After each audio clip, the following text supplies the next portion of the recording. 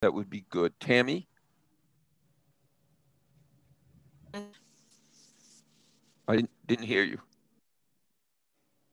Oh, I'm not muted. You're, you're, you're having connection problems, but I heard your voice, so I'm going to take that as you're here. Uh, Alex? I'm here. Alex present.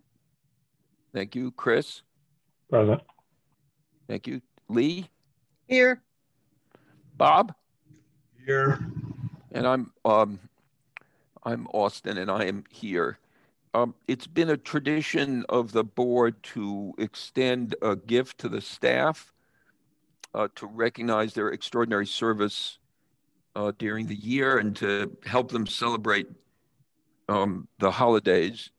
No year in recent memory uh, has required the level of ingenuity, creativity, persistence, and dare I say it, courage uh, of our staff as this one has. And they have risen um, to the challenge, I think, uh, remarkably, remarkably well and served the town um, with distinction in a, in a really troubled time. So um, I, I, I guess the question is, uh, do we, are we prepared to um, uh, provide funds in order to uh, provide a gift to the staff. Sharon, do you want to tell us what we're talking about? Yeah, so um, uh, uh as in the past, you all have given each staff member a $5 gift certificate to Amherst Coffee. Um, so uh, we love that. So thank you. Okay, so are we um, are we ready to like? Let's. I move that we give the staff uh, gift cards to Amherst Coffee, as Sharon's just indicated. Is there a second to that motion? Second. Uh, I just want to make clear so that no one is, uh, no one misunderstands. The cost of this gift comes from the donations of individual trustees. It's not taken out of the library, not right. taken out of the library budget. We're not diverting any funds that would go otherwise. Okay, any other discussion? I've already sent mine in. Mm -hmm. Me too. uh, okay, I guess there's a there's a there's a rush to to be the teacher's pet. That's good. Uh-huh, that's us. Good okay. girls. So We're all in company, Lee. All in, all in favor, say aye. Aye. Aye. Aye. Opposed? Thank you. That's um, that's great. Okay, Sharon. So we're here to do another in a series of um, library chats. Uh, among the subjects that we've covered before are its sustainability. We've talked about the repair estimate on the building. We've walked through the plans for the building. And today we were going to talk a little bit about historical preservation. And I'm going to turn it over to Sharon. And again, Chris, I have to leave about 525. So if I disappear, you would please adjourn the trustees. Sharon.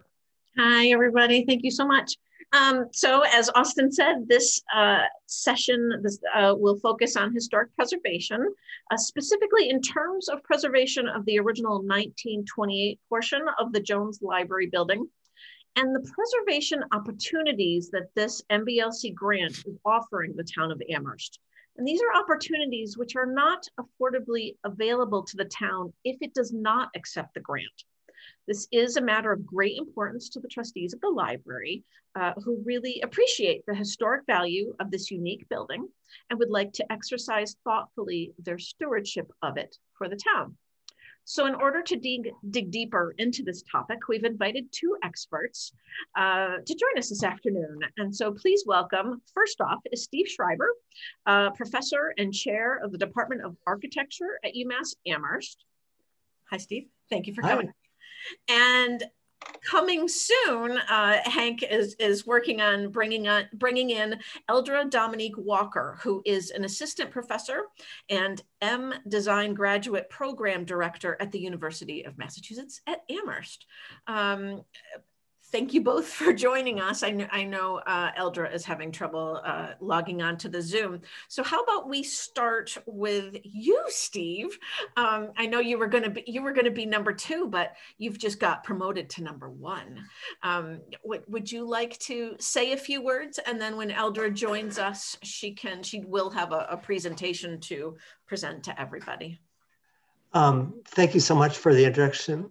And I'm just going to, because I don't have your cell phone number, but I'm wondering if, Lauren, if you're at your house, if you could possibly um, see if you could also help Eldra. So I, I, have no other way of communicating with you than, than this way. So um, thank you so much. So this is supposed to be, I was supposed to be here basically for support of Eldra but I am the, the chair of architecture at UMass. I'm an architect and um, I'm also a town councilor, so I need to be clear that I'm not here in my role as an elected town councilor. And I, I am trying to think of what other um, disclosures I should make here.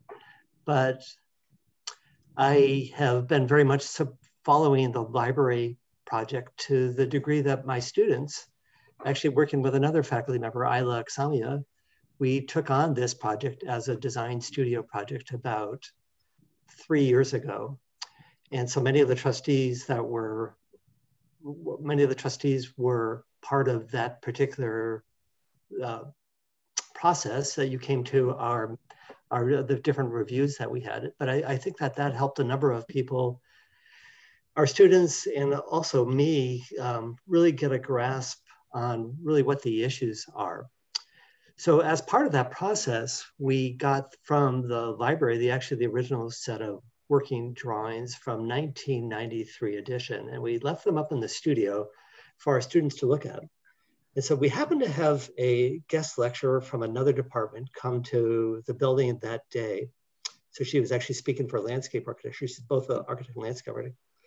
And she walked through the building and she saw the drawings and she said, I did those drawings. And when I when I was an intern and I worked for the architecture firm that was in New Hampshire that did the library project. So I asked her all the questions about what went on, you know, in 19, the 1993 edition. And so she described a kind of a magnif magnificent ambition back in 1993 about how the library would be added onto and and it didn't come to that. So the basic idea was there, but what was actually construction was very much the term of art is value engineered. So the there whatever there were budget constraints, there were site constraints, all the usual things, but there were also material changes. So she kind of talked worked me talked me through the the set of drawings of what the ambition was and what the reality was.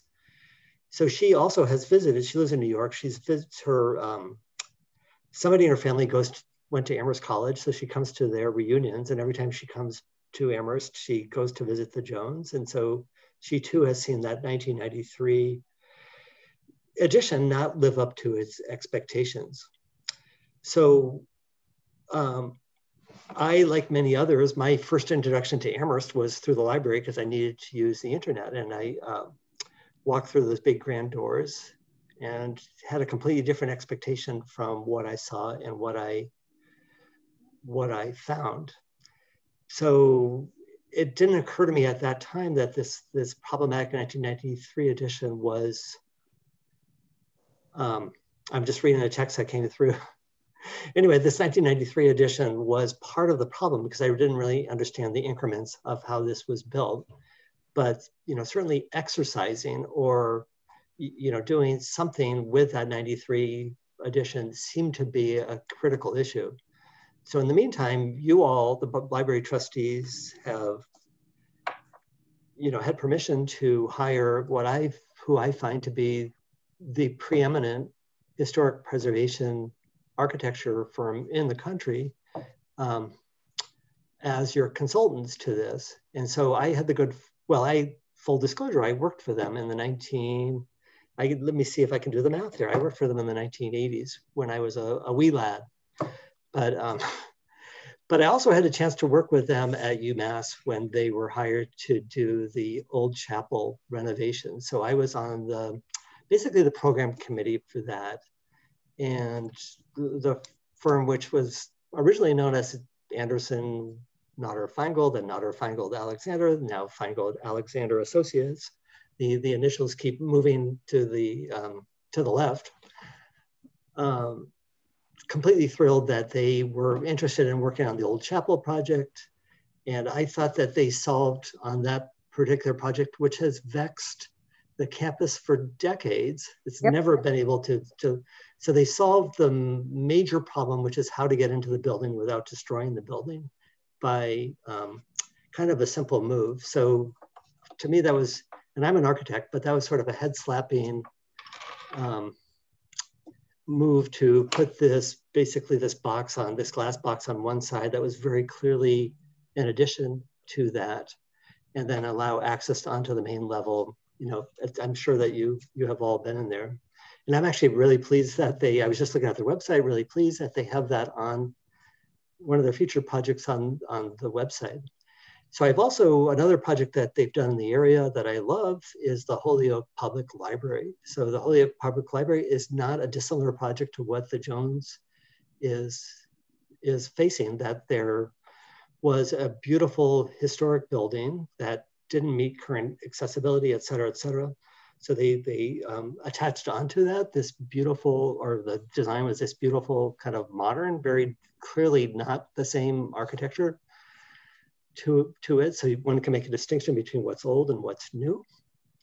So um, yeah, so that's another one of my favorite buildings in the area.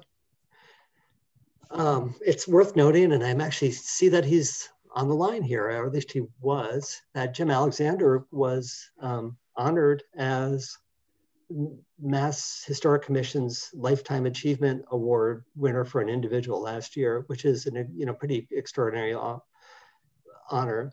So if you read the, just Google that, and if you read what they say about him, it's all true. So this is from having worked with him directly many years ago, but then also worked with him as part of the user group on the, the project at UMass.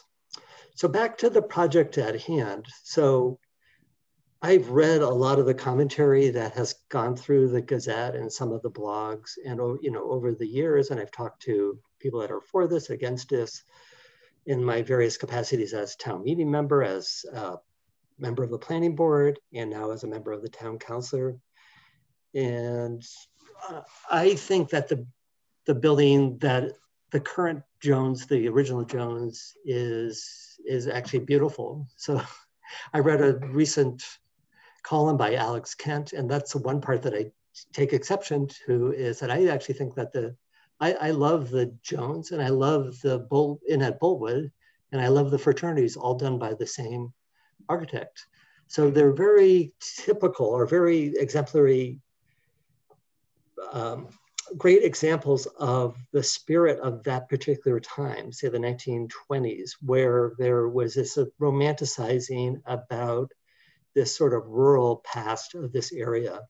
So both the Jones and the Inn at Boltwood were the original structures were designed in a way to look like they were built as incremental buildings. Mm-hmm. So they sort of mixed materials. They look like they were added onto, like the original Jones was meant to look like it was added onto over years.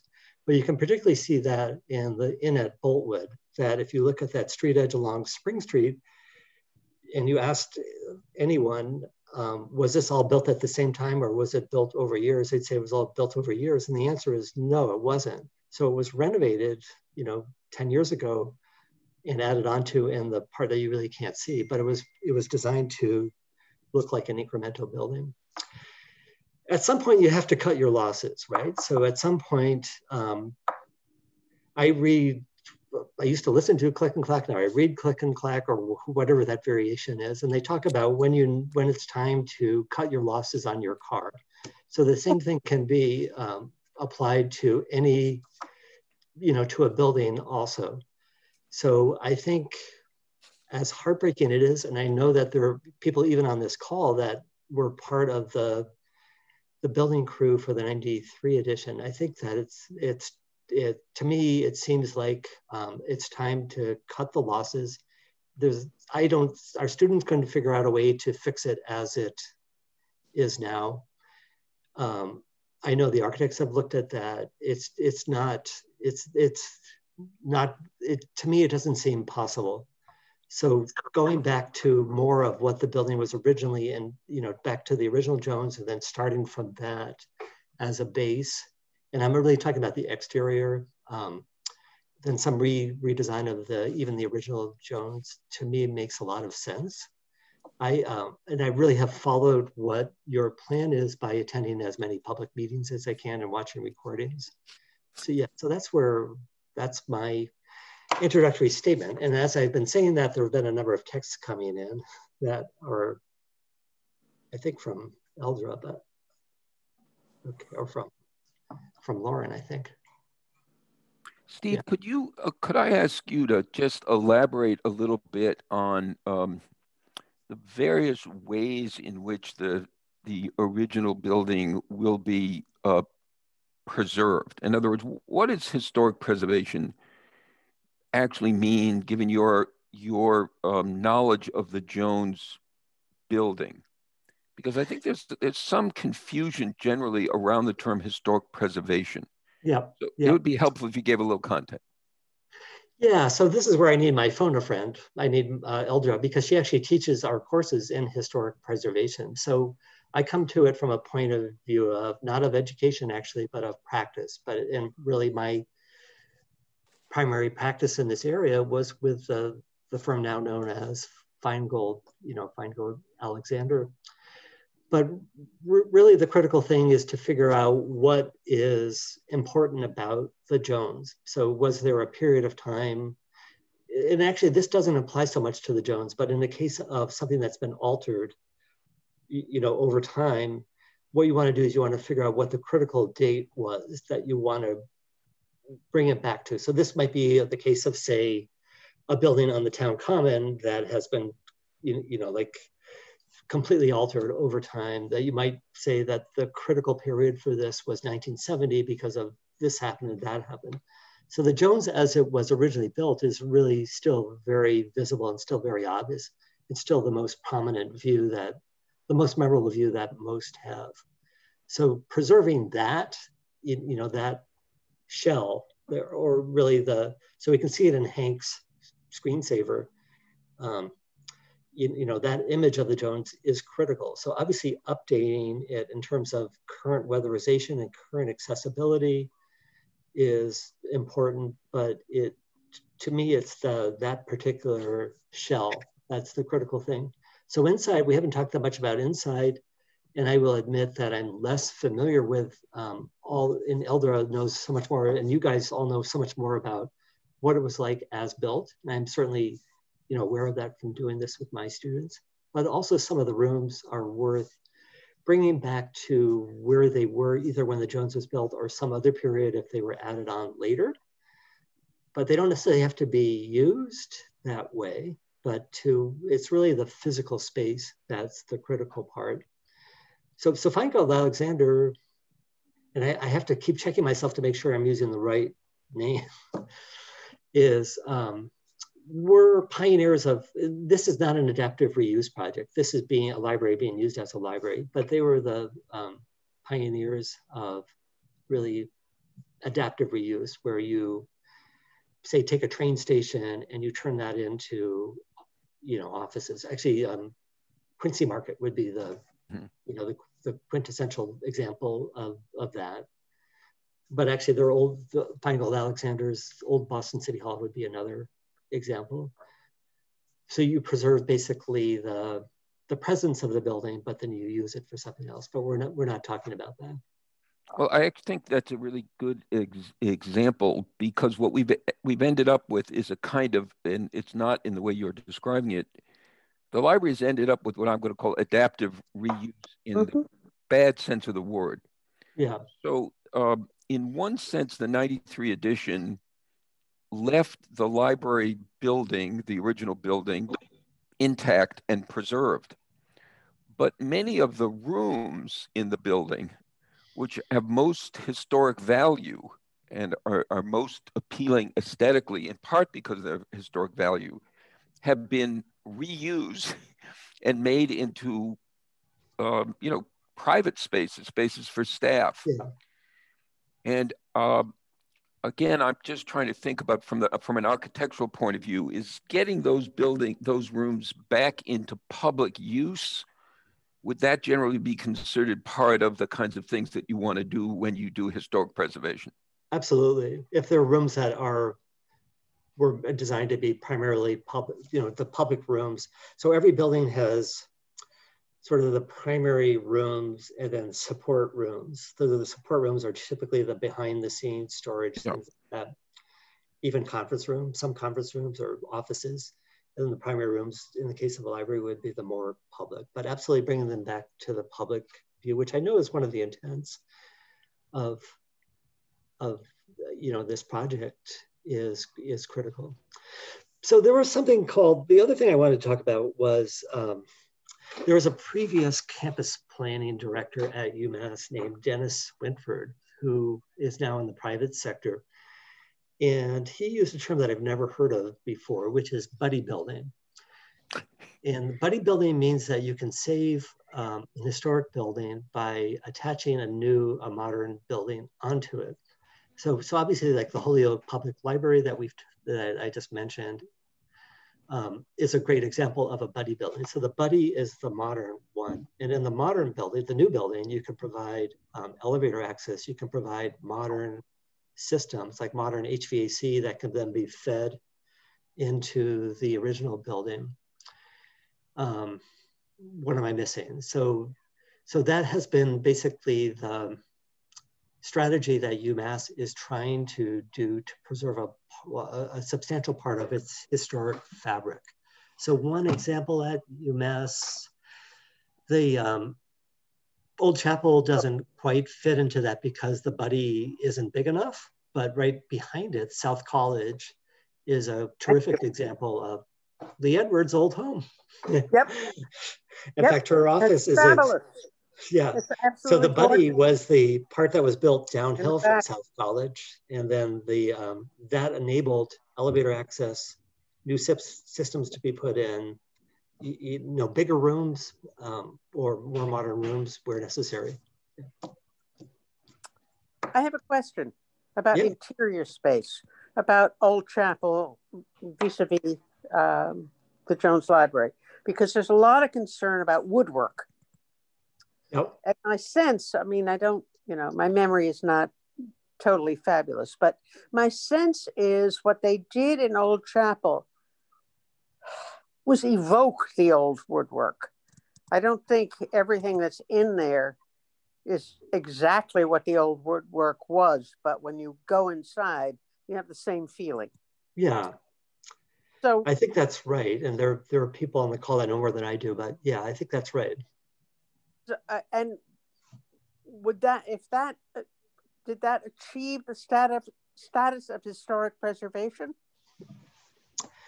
Um, I'm getting a little bit above my pay grade because I don't know exactly what happened in Old Chapel, but I, I think it's an important. So there's an old quip about in the historic preservation world about the guy that has George Washington's axe, and it's George Washington's axe. Only the handle has been replaced and the the head has been replaced, but otherwise it occupies the same space. So.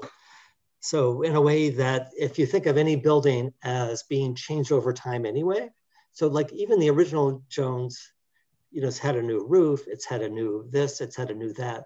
So so the amount of original original disappears over time just through regular through regular maintenance. So I don't know the specifics of you know what's critical in the Jones itself, but certainly disassembling and reassembling or um, you know, I don't think it I don't think it has to be the exact same the exact right. Right. Yeah. as long as it's not George Washington's teeth Right, exactly. You know, I watched the um, PBS special on the rebuilding of the Notre, the Notre Dame in Paris, and it was extraordinary that they're trying to looking at getting stone from the exact same quarry that this was used for the original Notre Dame.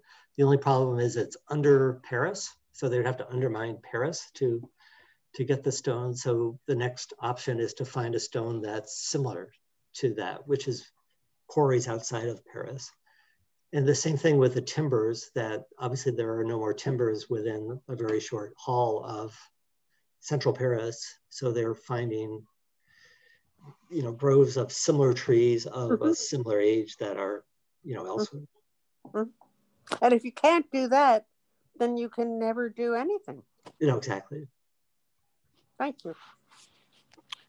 So, Steve, uh, I'm going to just invite before um, uh, before other trustees jump in. I'm going to invite uh, attendees. If you have a question, you could relay that question through the question and answer function or through the chat function. Uh, that would be um, that would be great. So while we're waiting to see whether we get any questions from the audience or any of the other trustees have a question for Steve uh, so far.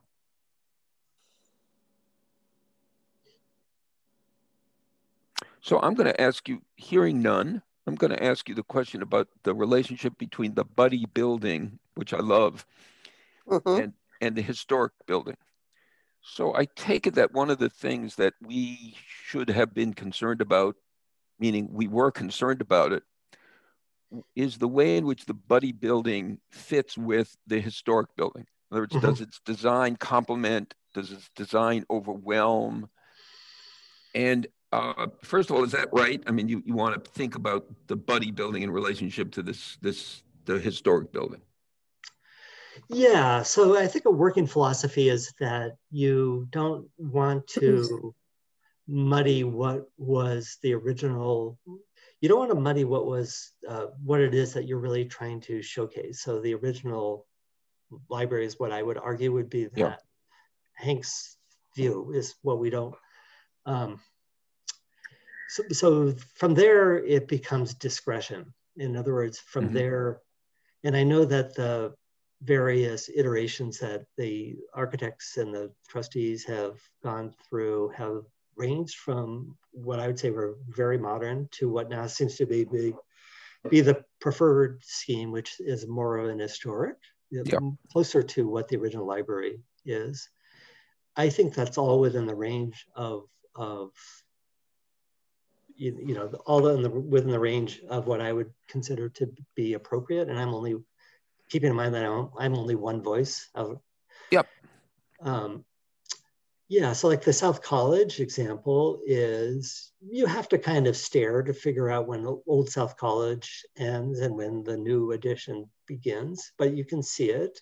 So there's similar colors, there's similar patterns. One's a very modern interpretation of the old one, but the late, you know, the you know certainly where the uh, where you all have been headed to me seems like a very reasonable approach that maintains sort of this um, modern uh, you know there, there is a sense that there is a modern building added onto an historic building but that they complement each other.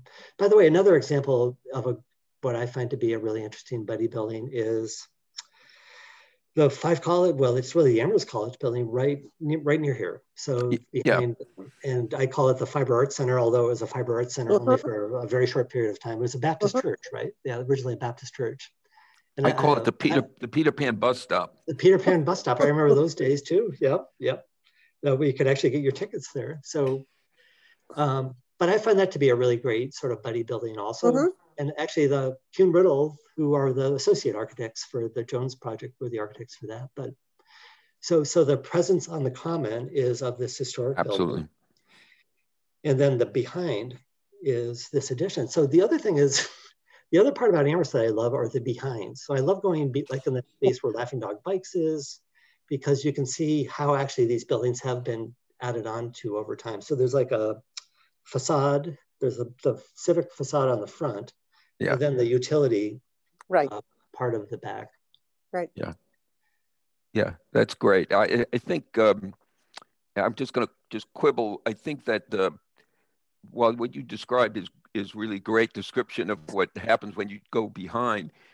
What's wonderful, at least from my point of view, about what FAA has proposed is that this build this this addition, this buddy building, uh, you know, has an integrity to uh, to itself um, as well as a complement to the historical building. And that seems to me to be the achievement that the building has a kind of integrity to itself. But now, given the good work of the trustees um, and the director, the, the way in which this buddy building is going to look is going to complement in its roof line and perhaps in its materials what that historic building will um, will, will look like. So are there um, are there? I've got a couple of questions from the audience, so let's go to those. So uh, one question says, I'm curious about how historic preservation will be balanced with staff needs and future flexibility. People have used the library very differently over the last 30 years, and there'll likely be changes in the next 30. Will there be surveys and focus groups with staff and with patrons to find out what they um, like about the space and how it is or isn't meeting needs of the community? So this is a question for our distinguished director. You read it again. I'm curious about how balance of staff needs and future flexibility. Oh, that's so true.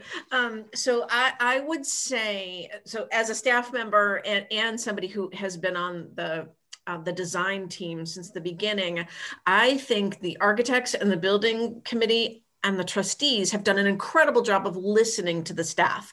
Um, uh, it's not always like that you know sometimes architects just want things to look pretty and and, and for us yes we want it to look pretty but um, it's really important that it function beautifully for the staff as well as for the patrons because that's our problem right now is that it doesn't. Um, and so that leads me into the flexibility piece.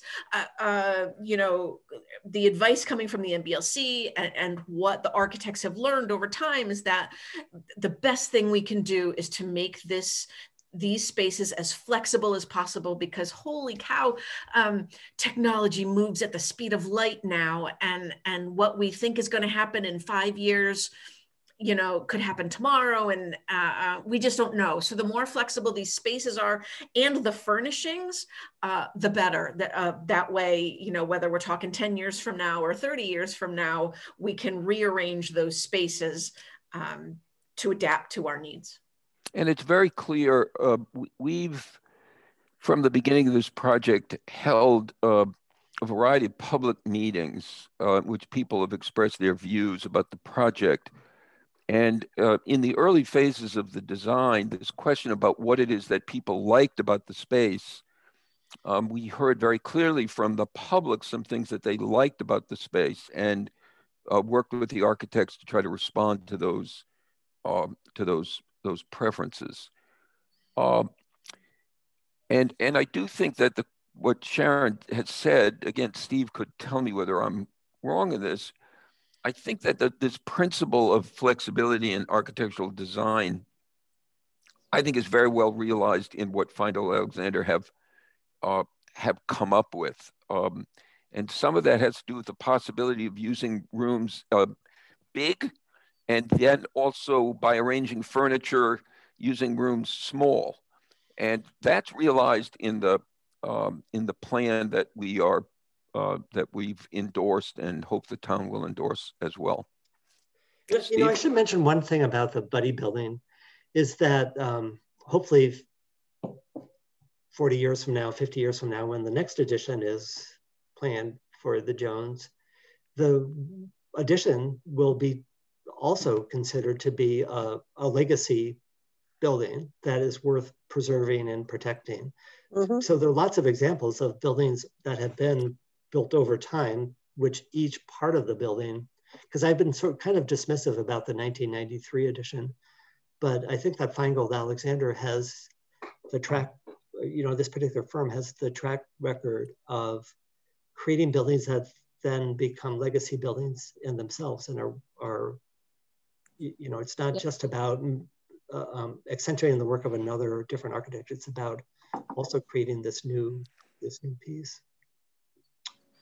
That's great. There's another question. Um, will there be user participatory discussion with current architects about space use and traffic flows that drew them to the Jones over the libraries, over other libraries in the first place? So that's a terrific question. We finished um, the first phase of the work with our architects, and it was a long and complicated one. which got us to, um, I hope this is the right architectural term, Steve, finalized schematic design. But we are going to, um, if the town approves the project, we're going to move into the next phase, which is called design development. And as we move into design development, uh, there'll be an opportunity for more conversations with the architects about the way in which the building is going to be um, used, though uh, this, the finalized schematics will be the basis on which the subsequent design work uh, hap happens. So what we've got now, finalized schematics, but the next phase is design development, where those finalized schematics begin to move into plans that the architects and builders can actually um, can actually use. Was that an accurate description, Steve? That sounded right.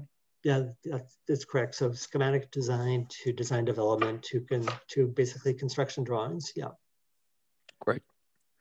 Okay. Are there other questions from the trustees for Steve?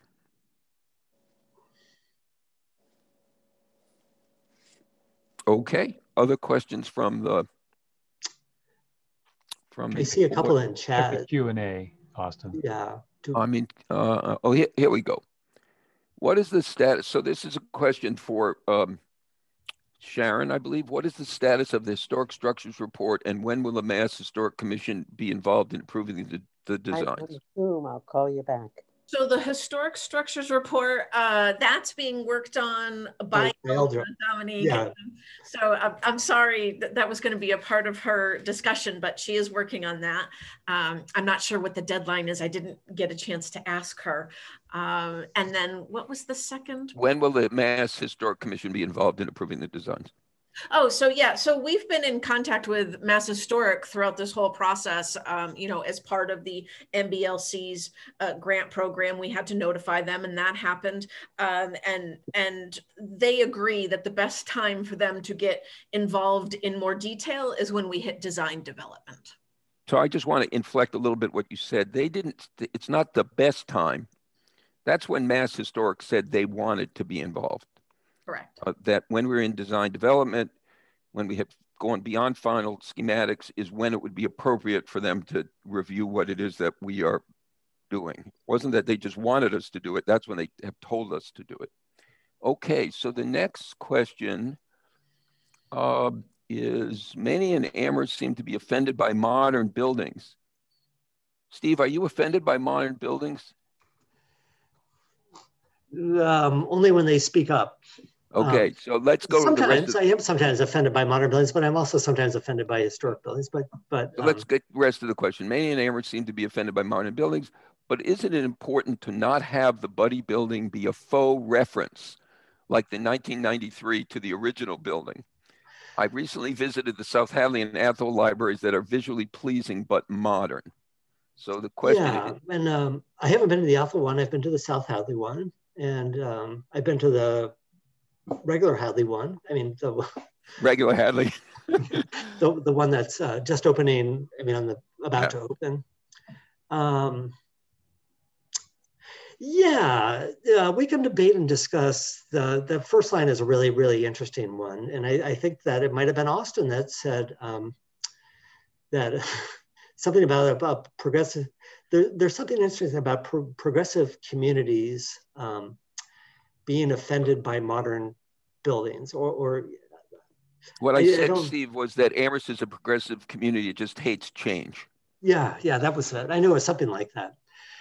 Um, I think that there, modern means different things. So this, the author is using small m. So small m means to be basically of the time, you know, contemporary. Mm-hmm. Um, there, I think that we're actually in a really interesting period of architecture right now. So we've learned a lot from modernism with a capital M. We've learned a lot from historicism. And actually, I'd consider the Jones to be a model example of historicism, you know, trying to evoke a period of which it was not. You know, and uh, we've learned about urbanism, how to build good communities. And a lot of us have been hit in the face. So probably one of the most important things to happen to Amherst was what's now known as the Bank of America building, mm-hmm. because that is now basically the what everyone fears is that this will be the next Bank of America building. So, but uh, then my counter is another modern building right in the heart of downtown is the five call the Baptist Church addition, you know, that we were just talking about, which I find to be an extraordinarily compatible, you know, modern building. And actually, right next door to, even if you go onto the Amherst College campus, there are, there are a lot of really beautiful modern buildings that are use historical references but are not so this it's kind of the best of modernism meets historicism like um so i'm yeah I, I completely agree with the second sentence too the you know um that was the thing about the 1993 building is that you if you're standing in front of the the uh, on the prospect street you really was hard to see where the original building was and where the new building where the new building was. So I, I, think some sort of a division so that that is clear that this is an addition is important. I believe that that's what is being attempted here. Yeah. So yeah, so I, I tend to agree with all of this, except the one part I haven't been to the Athol Library, but that's on my to-do list as soon as I'm allowed to go out of Amherst. In fact, uh, as soon as I'm allowed to go out of my house. Yeah. Yeah, some of us visited the Athol Library um, uh, and it's an extraordinary. Uh, it's an extra. I, I, thought it was an extraordinary um, renovation. I mean, I think it's a wonderful, yeah. um, wonderful renovation. It, it didn't have the level of historic preservation that we want here because of its prior building, but I thought it was quite extraordinary. Um, so uh, here's an you know again here's this right. Can this chat be continued to find another date so we can hear from Eldra? I think that makes a lot of I think that makes a lot of sense. Of course, we'll try to um, arrange that. Another observation: the Cambridge Public Library is another example of the old and the new. The Cambridge Public Library and the Boston Public Library, and actually the Boston Public Library is a really interesting one because that's an addition to an addition to an addition. Actually, it's a renovation of an addition to an addition, all with very three very prominent architects working in a row. So it's McKim Mead and White meets Philip Johnson meets William Rawn and Associates. And the Cambridge Public Library is, I don't know who the original architect was, but William Rawn was the architect of, um, of that renovation slash addition. But so I, I think that your, you know, I think that's the right family, that's particularly the Cambridge Public Library, which is a smaller, is, is um, sort of the family of what I think that the Jones Library will can be. So that's a really good, if you, in the old days, we'd say go get in. Get in your car and drive get in. Get in your, get on the Peter Pan bus and go visit it. But now go look at the, go look at the website. Tammy. Yeah, I used to use the Cambridge Public Library when I lived in Cambridge when it was still the small one. And I've subsequently been in with my family who, who were living in Cambridge and explored the addition. And I think they did a phenomenal job with the new edition, but also with restoring the original small library. And, and you can see people love being in there because there were a lot of people in the older part as well yeah. as people in the newer part. Um, and and part of the newer part was the children's, which was just phenomenal. Yeah. Well, as you know, the plan, right, to follow up on that, the plan that we are uh, hope to see developed will open up more of the historic building to the public yeah. than than is now available. So, from the point of view of, of people who love the historic building, uh, we hope they will fully embrace the renovation because they're going to get more of the thing they love. And uh, I think that's really an extraordinary um, achievement. The current downtown modern scene is disturbingly ugly to the art artistically inclined. The issue is not about change, it's about destroying the unique New England character that draws visitors from all over our valley to patronize our local establishments. Well, the answer is we are in heated agreement. That's what that's why we have Steve here because no one envisions destroying yeah. uh, the un unique character of the uh, Jones building. If you think it was destroyed by the 93 edition, uh, then, but most people don't think it was destroyed by the 93 edition. Yeah. This, this, edition is not going to not going to do any damage to uh, the historic building, and we hope it's going to enhance it. Steve? So three of my favorite communities in the in the Connecticut River Valley in New England. Let's just leave it to that. Are right on the Connecticut River, and you just go north to Greenfield, Brattleboro, and then to White River Junction.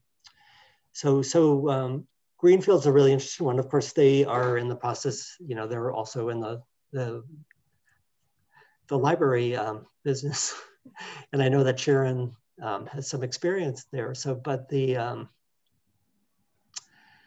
in downtown Greenfield, the uh, there's a the courthouse is a perfect example of a buddy building. So the courthouse has it's a, a historic building on. My goodness, I'm not going to come up with uh, the name of the street. So it's Hope Street meets. Um, I'm I'm sorry, I'm not going to come up with it. Um, but behind it is a very modern building. So that's a buddy, you know, basically the buddy building concept. Uh, Brattleboro, New England isn't all about, you know, 1880 or 1890 or even trying to replicate that. New England, like anywhere else in um, the, the world, is about some history, some change. I completely agree that there are parts to, uh, to Amherst. I'll go back to my thread in a second. So like we want to protect the town common, we want to protect, you know, there are a number of things and a lot of them have to do with open space that we want to protect. So Brattleboro, moving on north, another one of my favorite communities, but it has some very modern buildings like the Brattleboro, like the, um, I don't know what the, official name is, but the co-op building, which is a mixed use building right on the river. It's a very modern building and you might have to squint and say, um, is it actually modern or is it not modern? But it's, you know, an example of an historic modern building. And then White River Junction is the big surprise because um, I've known about White River Junction my entire life, um, having taken the bus there or the train there. And oftentimes it's trying to get um, out as quickly as possible, but now it's the place that everybody wants to get into as much as possible. So this is a very quintessential, you know, New England village and it is um, a mix of modern and historic, um, some three-story buildings, some four-story buildings, um, and to me, that's quintessential New England. So we we can. One problem is that if you try to, and I don't, you know, I might be reading way more into this question. If you try to freeze a community into a certain time period, then it becomes really difficult to ever build. But if you allow, if you sort of accept that communities are living, growing things, then it's much easier to accept change. But I, some parts should be constant, like the common, the, you know, the new Kendrick Park, you know, things like that. Mostly streetscape and basically the bulk, I think. Great. I wasn't spoken from an historic preservation point of view, but maybe it was. Right. Well, I think you've helped us understand what historic preservation means. And yeah. I think part of the misunderstanding of historic preservation, some people think historic preservation means no change. You preserve yeah. it as it is. And what you've helped us see is that historic preservation doesn't necessarily mean no change. It, and again, in our case, um, I love your reference to the to the Hanks screensaver that uh, yeah. that preserving that that view, that feel for the Jones as it faces the town is critical historic preservation and as is opening up historic features of the Jones that have been hidden. So, uh, yeah, so another comment here about the Cambridge Public Library and um, yeah, I'd love to know what the people of Cambridge think. So the, the context is slightly different. So that, that library is in, it's kind of in a park you know, in other words, it's not right on the urban edge like the Jones is. It's more of a park setting. And then the Rindge, Cambridge Latin High School is right there also, all in this more of a park setting. So without, I'd love to know what the community you know feedback was on that i can i think many of us consider amherst and cambridge to be siblings. I'm not sure if Cambridge sees it that way, but I, but um, you know, we're both college towns, right? So this question uh, is a really, this observation is a really good one, but I don't think it's apt for what we're doing. Uh, it's not a yeah. glass box that we are adding to the back of the yeah. Uh, Jones Library. The Cambridge uh, model is a discussion of what a good historic preservation might be, but a glass box is not what we are adding to the back of the back of the library. So are there other questions from the trustees? Alex? Not not a question so much as I second. I I have lots of questions, but they're for Eldra. I don't want to put Steve on the spot because he's been really clear that this was supposed to be Eldra's chat, and so I would really love it if we could try this again with Eldra. And we're, we're gonna we're gonna we're gonna do yeah, it. You're, you're, yeah, you're, that's great. Okay, so Steve, um, let me just make sure. Given that I'm not seeing any other questions, um, I want to first of all, thank you. You've, you've, as they say, risen to the occasion. You've done two parts in one person. That's pretty good. We're really incredibly grateful for your insight and for your thoughtfulness in talking about historic preservation. Of course, we're all grateful for your distinguished service to the town uh, in uh, your current capacity. Uh, Sharon, did you want to say one last word before we adjourn? No, I just want to echo what Austin just said. Said Steve, thank you so much for this. It's fascinating. I am. Uh, I am. I love talking about the Jones, and I love talking about Amherst. So thank you so much for inviting me. It's our pleasure. So now uh, we need to move to adjourn the trustees meeting. Would a trustee make a motion to adjourn? Lee, Ed, uh, Chris has made the motion. Is there a second? Somebody needs to speak? Second. Good. Okay. I'm going to ask you again by name to vote as to whether or not we may adjourn. Chris Hoffman. Um, I move it. Uh, yes, adjourn. Yes. Lee Edwards. Yes. Tammy Ely. Yes. Bob Pam. I'm willing. willing. willing, but not enthusiastic. Um, Alex Lefebvre. Yes. And Austin Sarat says yes. And again, I want to thank the attendees for uh, coming to this uh, library chat. And we will look forward to seeing you in the future at future library chats. Everybody stay, stay safe, please. Thanks, Steve. Thank you. Bye. Bye.